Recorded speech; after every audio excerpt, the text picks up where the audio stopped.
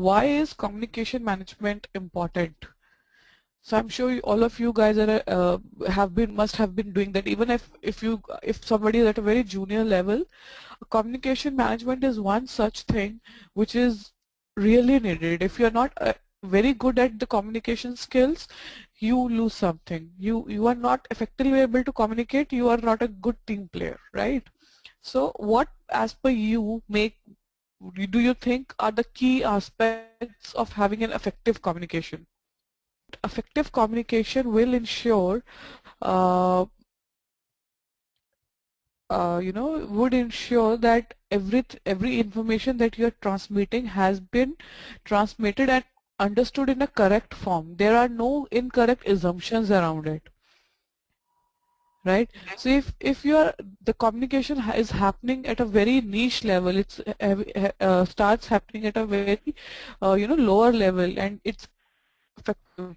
You can resolve uh, issues at a very uh, lower scale before it gets actually gets escalated and it be becomes a very real problem like for example if you if you are working on some requirements and you have assumed something of your on your own and you're not communicating it with somebody right and uh, if it gets highlighted only after you have implemented it or maybe it comes into picture only during the testing phase the cost of implementing and going back to rectify it would be much higher that's why in Agile we have been talking about communicate as much as possible.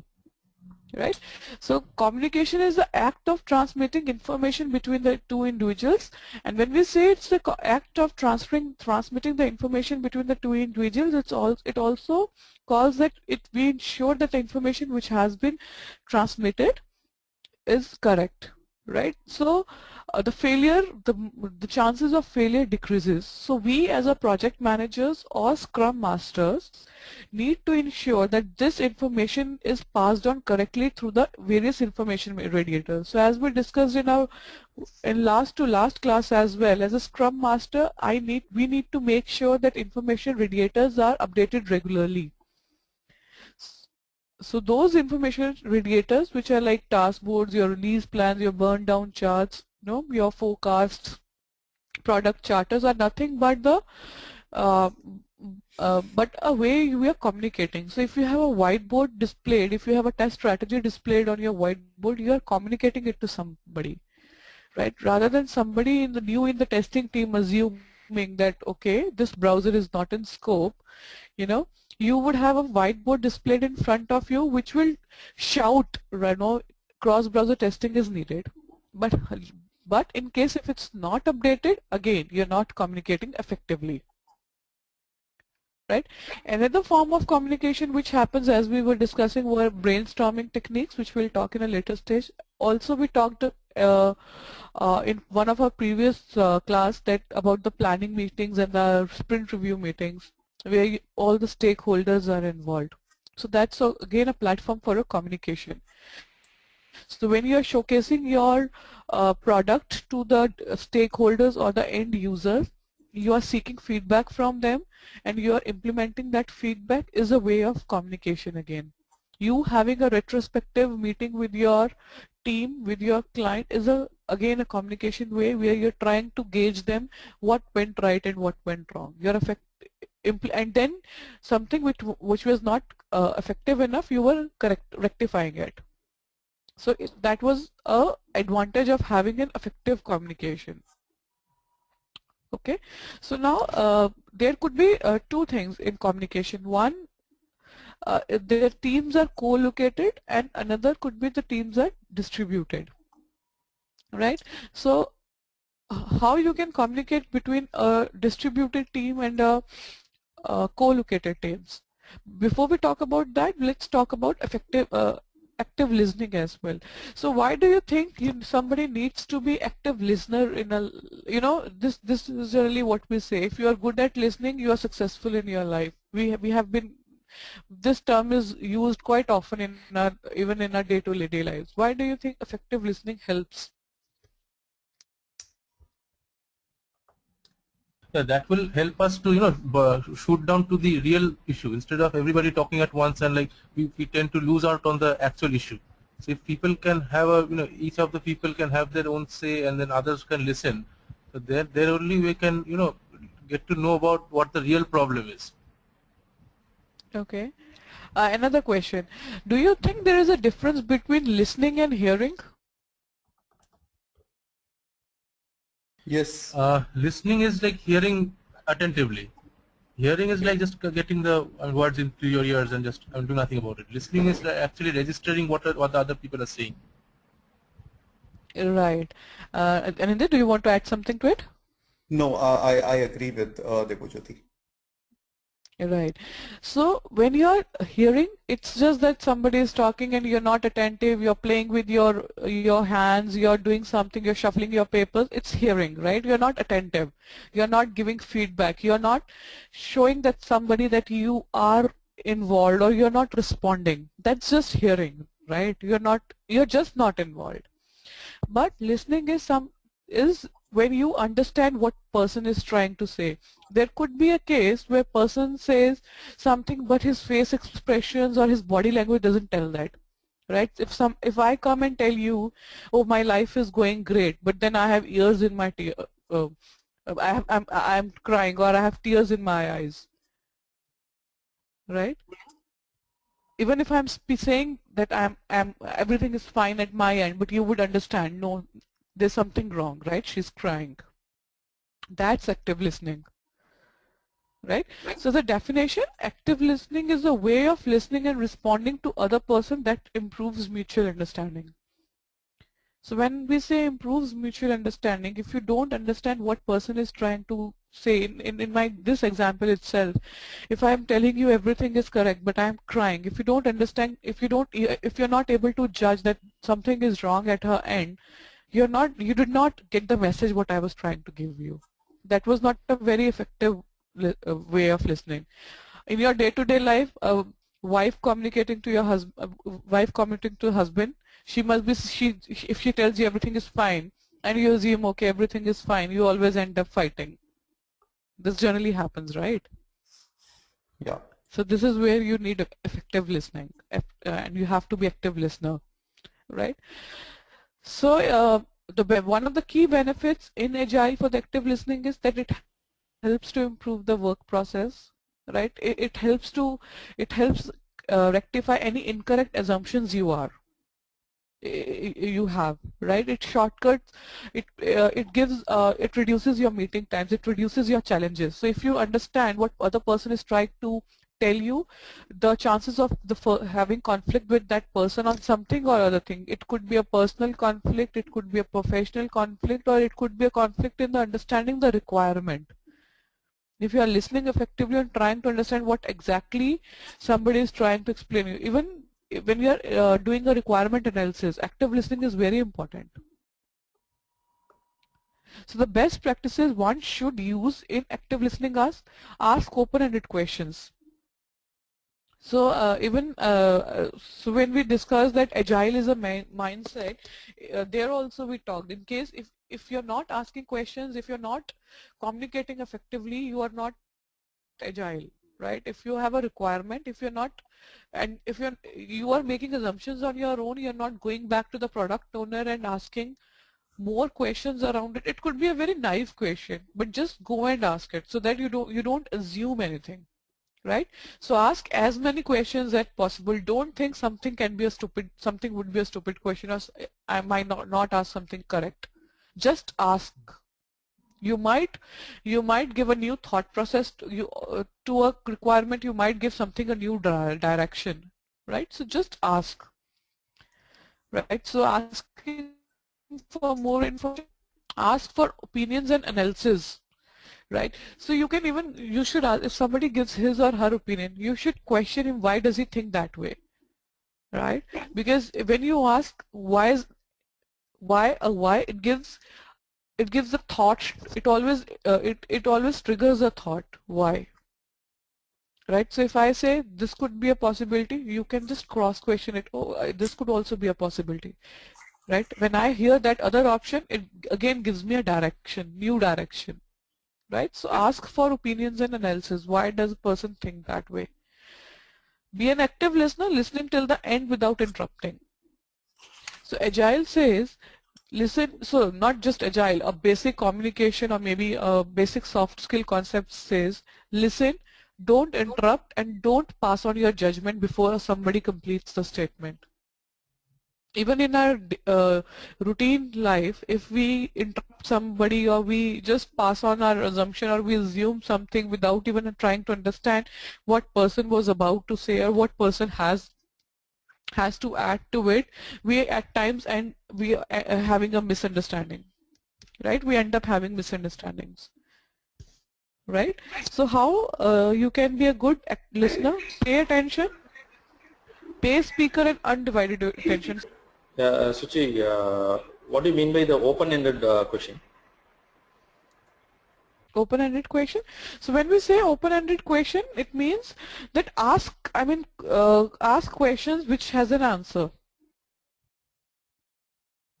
So the way I ask, so uh, uh, the way I told you, so if you have, uh, uh, you know, if you have doubt when you go back to the uh, product owner, don't have that closed loop. No if, if or if you have some opinion don't be close you don't don't be close minded about it. Be open about it and if you have something accept it. As in you know um, how do I put it?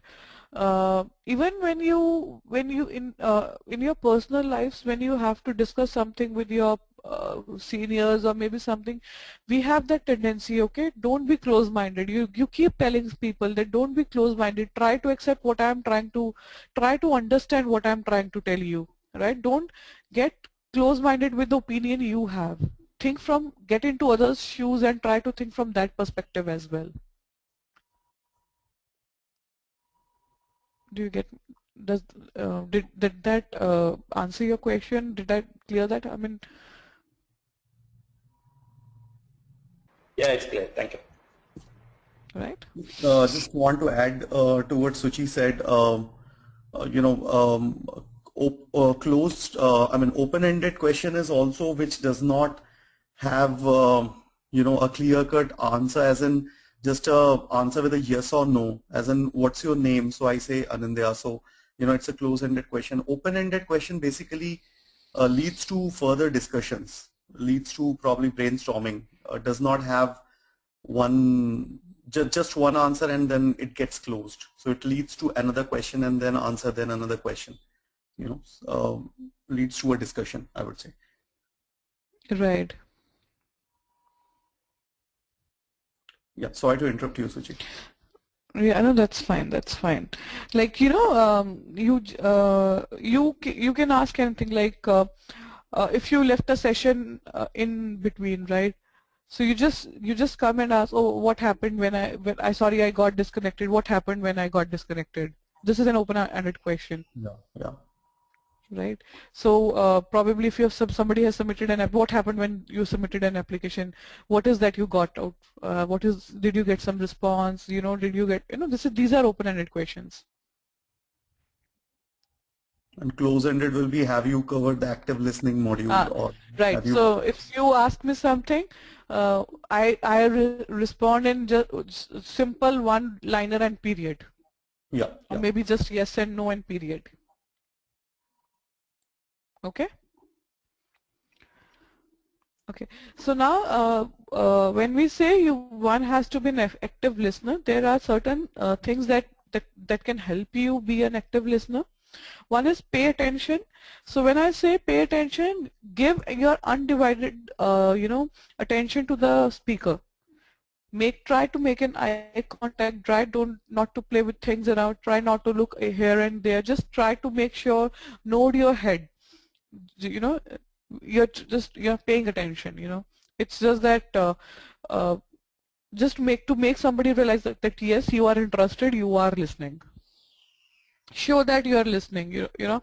Your body language should not be like that. I, at times you would have noticed uh, if you're in hurry you know and uh, uh, you're somebody is trying to talk to you though you're not speaking anything but your body language is such that people judge that you are in hurry are and you you somebody would would just pop up that question are you in some hurry?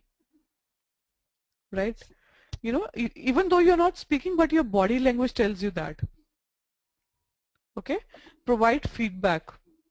So providing feedback and then uh, you know respond is interrelated. So somebody when somebody is talking to you, if, even if when if uh, if uh, we talk from this sessions per se, if, if it's just me who is speaking and you're not asking questions, you're not responding to me, there is no who, there's no yes, there's no no, no. If even if I'm asking question, there's just a pin drop silence. You know that would make people uncomfortable. I would not be sure that even if you are getting something, what I'm trying to tell you or not. So provide feedback and respond. Defer your judgment.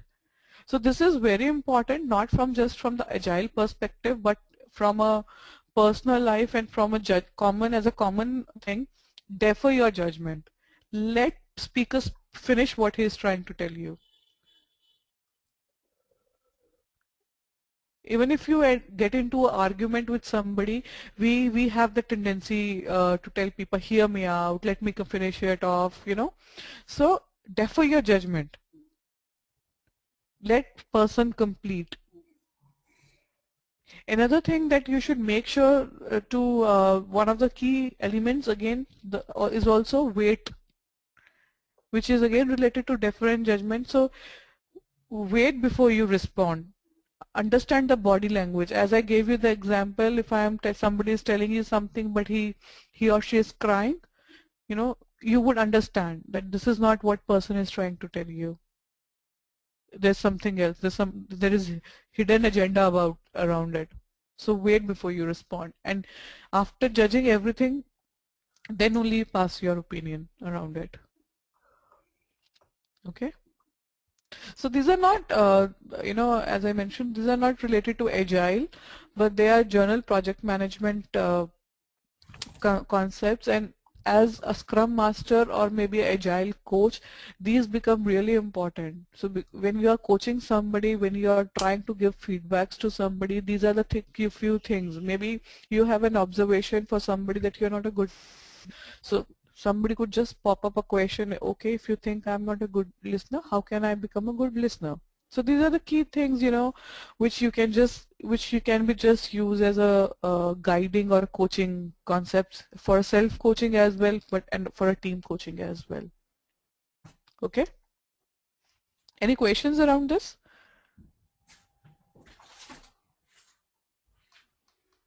Okay. Uh, so now moving to uh, Annie's uh, question. When we practice active listening, what are the levels through which our listening skills progress? Global listening, focused listening, intuitive listening, intuitive listening, interested listening, focused listening, global listening, internal listening, focused listening, global listening. I'll go with B, inter interested listening. Okay. Okay, so let's see the answer. So internal listening is nothing but attention in ourselves. If, if I am not clear, if my mind is distracted, if, uh, you know, I can't be an active listener. So I have to be internally clear in my thoughts. Then I would and be a focused listener. And then the global listener is when I am doing a osmotic communication. So if two body, two people are talking and they're discussing something and I just listen and understand and maybe I'm giving my uh, even I'm not part of that communication but I just give them my thoughts is a global listening. So we will talk about it global listening in the osmotic communication session. So internal listening is something where I'm clear about my thoughts. I know I'm not distracted myself. There would be times you, you would have noticed when you are really upset about something in your life or maybe about your project or something and somebody is trying to tell you you're just not not listening to it right? Even though you're there you're physically there but you're not mentally there. So the mental presence is internal listening. Okay? Intuitive listening can't be there right? If you're biased if you're not uh, again if it's you're just close-minded you can't be active listener. Clear? Uh, Okay, so next is osmotic communication. So what do you understand by word osmosis? So osmosis is nothing but when the molecules from a solvent pass through a membrane, they get filtered. Right? Yeah. So, um, so in Agile, we, we say that the best way of communication is face-to-face communication. So if we are co-located teams, we, we have whiteboards. We have been uh, talking about whiteboards. We have been talking about information radiators, right? So osmotic communication is nothing but there when the information flows to you when you're not directly involved in that information but it flows to you through indirectly right? So the example uh, so example is uh, two people having a discussion uh, on a whiteboard or maybe on a test strategy. You're not part of it you're not even part of the testing team but since you were around and you were listening to them you came to know that okay uh, uh, now I, uh, I was not taking care of cross-platform testing. This has to be this functionality has to be available on Windows and Linux both uh, I, but I was not taking care of. To, but since testing team is gonna test test this, I need to take care of it. Since you were not even involved, you you overheard it, and you know you uh, you started implementing it or maybe there was a requirement discussion going on. You heard it and you had a input. You thought you heard, heard somebody telling a third person but which was an incorrect information. You just you just popped in you just jumped in and corrected that information. That's an osmotic communication. So in a way you were not involved but still you added you got information you added or you added extra additional information to it. You corrected something. That's osmotic communication. So osmotic, uh, so there is a spelling mistake in this. This is which I'll get it uh, get corrected. So it's O S M O T I C. It's not M A. Right. So osmotic communication is where the information flows from the background to the team members who pick only the relevant information. Okay. So uh, uh what do you think uh, I mean, uh, could be the advantages of osmotic communication?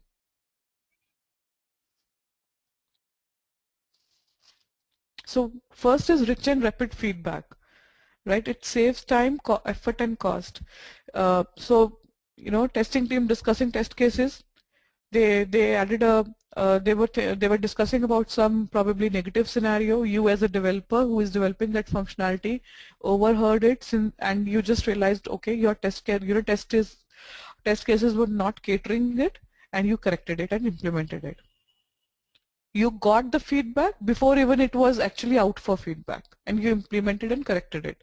So this not only saved your the time, overall time for the testing team in finding the defect, fixing it, and you refixing the defect, it caused saved the effort as well, the effort which would have been there in the refixing and everything, and the cost anyways, which is uh, which which is uh, which could be derived out from uh, time and effort.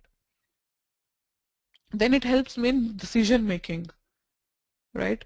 So uh, again, if I take the example, uh, some two people talking uh, uh, talking, and they they were having some assumptions about around some uh, requirement. But since you were involved in the client meeting, you were there, you you understand that requirement completely. You help them decide on what what could what could be done right? So it helps in decision making. So active knowledge sharing, so it's an informal way of sharing the knowledge, so it helps promote the uh, knowledge sharing, right? Two people knew something, they were discussing, they were not really sure, you as a third person just added to it. You corrected them, or maybe you gained the knowledge out of it, right? So it's a knowledge sharing. Okay, so now, uh, okay, uh, osmotic communication was happening, information radiators were correctly in place, you you were picking up things, knowledge, uh, you know, decisions were happening properly, feedback was shared properly. So how can you judge that this is actually helping you? Uh, there is an osmotic communication happening around. So one thing you should go back and I uh, uh, ch check at your team uh, teams that is there a osmotic communication happening when people start coming to you to understand a requirement, right? You are not even uh, part of that meeting meeting or part of the discussion, but they generally think, okay, let me just go and ask Anindya. Let's go and he must be aware of it.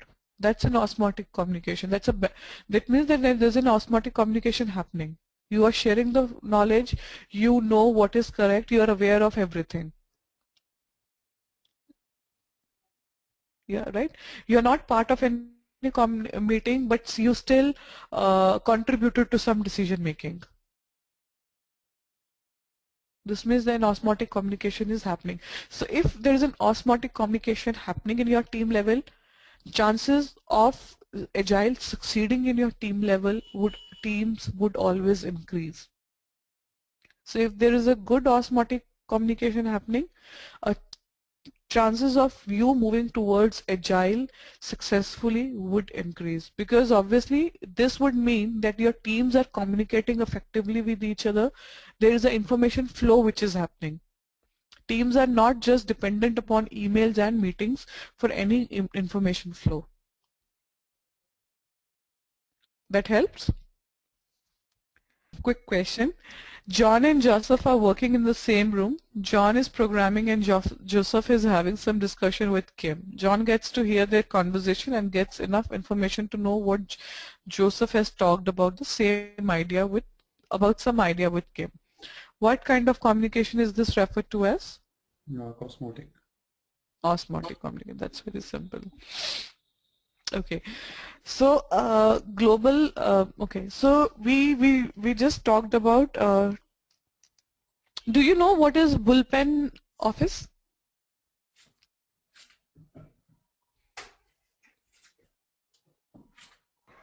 No, no idea. Okay, so bullpen office, which is uh, is something which is actually uh, advisable if you're working agile, is something where you don't have uh, cubicles. You just have benches and people are just sitting across. There is no cubicle structure, there is no uh, walls which are uh, there. It's just the benches are there and you have chairs and uh, you know you can just see each other you can see each other's machine if you look at this example you will see uh, this image you will see there is no cubicle around the benches are just placed and people can see each other what they are doing and if somebody talks to each other I mean two three people would overhear it. Okay? So uh, to have cosmotic communication in a in a co-located teams you need to have a two ways of implementing is is a bullpen office where you don't have a cubicle structure. People are sitting together. There are just benches are there and they can just pull in chairs and uh, they sit together basically. Or you get to uh, you sit in a war rooms. War rooms is nothing but a a terminology which is used for a common uh, conference rooms which are there. They don't have any uh, you know uh, rectangular tables or something. There is a round table structure. Everybody are treated as equal and uh, everybody is face to face with others. Right? So when you have this kind of a structure the chances of overhearing different communication and having an osmotic communication is always high but then if you are, what would you do if you are into a, if you have a distributed team structure? Any ideas? Uh, oh, uh, come again with the question. So, uh, so osmot, we we know that overhearing is is osmotic communication, right? No. This is only possible if it's co-located. How would you have osmotic communication if you have a distributed team structure?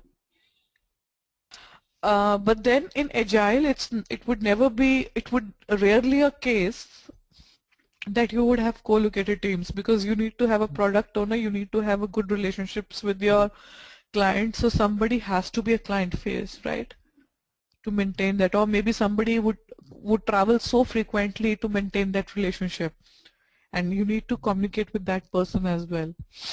So uh, Skype calls, video conferencing, or probably you have you maintain the email etiquettes. When when I say email etiquettes, is nothing but then whatever emails are being exchanged, it goes to everybody. Even uh, in one of our uh, classes, we even discussed that it should never be a case that uh, even if there is a technical uh, problem that needs to be discussed with a client, that could be a technical uh, implementation, maybe something uh, something related to a code you know some some uh, some uh, something related to code or maybe from a testing perspective some testing challenge. Still we need to make sure that development team is uh, copied in in there so that even they have uh, complete information. Because obviously if there is a coding challenge happening and because of that a, a, requirement changes a bit. And if testing team is not uh, in place marked in your in that email that requirement would be missed out right? So we need to make sure that we have conference calls we have webinars we have instant messaging systems which are in conference with many people. Though you are not needed in that discussion but then you one when you read that message chat log you understand what was happening and or maybe you are just copied in those email those emails obviously uh, yes one challenge that you can come you would have is you would your email e email boxes would be blocked with you know spammed but then you can have filters like I mean you can you can copy the emails that you are in CC into some folders and you can read it later.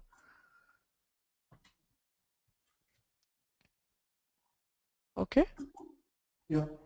So even uh, in these days, uh, in most of the companies, video conferences are being uh, promoted. Save costs, do video conferencing you know. So the only idea of having doing this one it saves obviously it saves the project cost. Another once when you are in a video conference you are with so many people that you are discussing you end up discussing more you if you have a war room kind of a structure in your office and you have a video conference everybody in the war room even if they are not involved in that conference would obviously uh, be listening or maybe even they are hearing uh, they would grasp something. Right? So osmotic communication can happen in with both co-located and distributed team structure. But yes, there has to be some etiquette level, either the email etiquette level or the messaging or anything needs to be maintained to ensure that information flow is happening.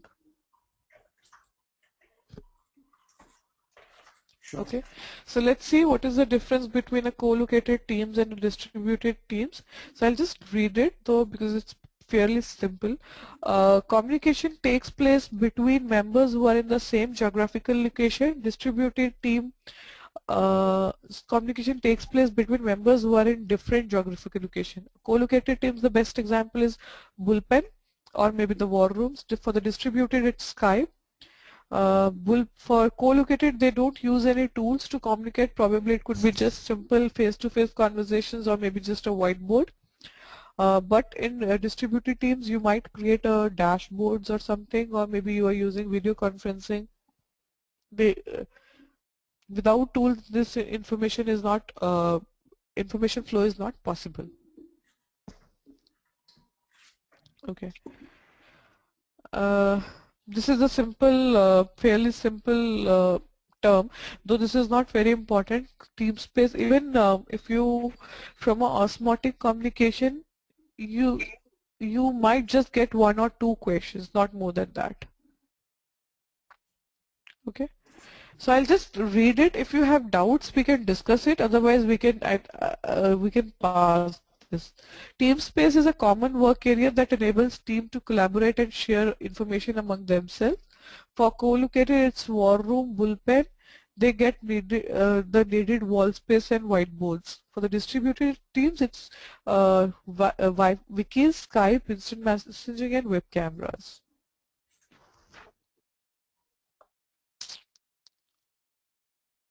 Okay. Uh, any doubts? what are information radiators and what are the various information radiators that we use uh, in our agile? Let's discuss those. What are the various information radiators that we use in agile? So the information radiators that we have been talking about is a Kanban board. One, it's the information radiator. The daily uh, Scrum board that we have, where we have uh, we have all the daily plannings. What are we doing? What has been done? And what are we going to do next? Right? Then your uh, product backlogs is the information radiator. Your burn up charts. Yeah. right? Your uh, risk man uh, risk sheets, which we have all the risks where we're talking about all the risks and all. Your uh, sprint backlogs is your uh, sprint backlog is your uh, uh, information radiator. Your defect reports, any kind of reports that you're generating is an information radiator on how we are and what are we doing and where we are. Right? So the only benefit of having a good information radiator which is updated properly, the again it reduces the meeting times where nobody comes needs to uh, you know you don't need a meeting room where you, you, need to specifically discuss how are we doing and where are we with the management. Somebody can just come in and see how we are doing and where we are actually placed right now. Okay? And it again it helps in knowledge sharing. Yeah? Okay. Uh, quick question. Okay so which of the following is not example of information radiator uh, displaying work breakdown displaying project status automated build report iteration planning guys displaying a project breakdown when you are breaking the story into task or into different features it's an information radiator, right? If you're displaying that, if I have five tasks against it and if uh, I'm passing on that information to my team, that's an information radiator. And mm -hmm. marking a status against these tasks would be what is the current state of my project. Iteration planning, you're, it's a meeting, right? It's not an information radiator. Mm -hmm. Project status report is an information radiator. Build report is an information radiator. You're passing on information to somebody. D then. Right. Hmm.